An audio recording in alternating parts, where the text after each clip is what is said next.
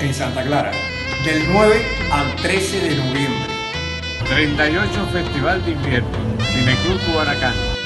En saludo al aniversario 45 del Cineclub Guaracán y a la familia Núñez Herrera.